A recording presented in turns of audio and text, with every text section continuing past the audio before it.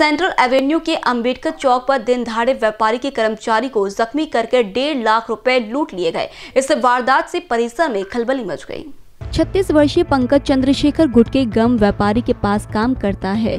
गुरुवार दोपहर पंकज व्यापारी के छापरू नगर चौक स्थित एचडीएफसी बैंक के खाते से डेढ़ लाख रुपए निकालने के लिए आया था।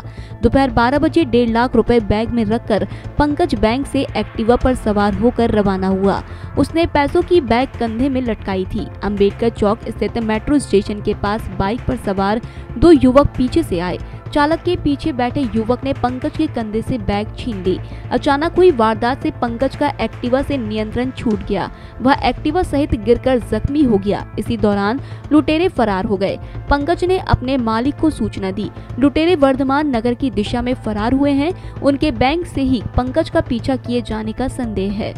आज एक इसम सव्वा बारा वाजून पाच मिनिटाच्या दरम्यान बँकेतून पैसे काढून बॅग बँक आपल्या बॅ बॅगेत घेऊन जात असताना पाठीमागून दोन इसम आले आणि त्याची एक लाख पन्नास हजाराची बॅग हिसकून पळून गेले. आरोपींचा शोध सुरू आहे. शोध सुरू होतात पुढील माहिती देण्यात येईल. कॅमेरा पर्सन अखिलेश भारद्वाज के साथ अभिषेक पानसी बी न्यूज नागपूर.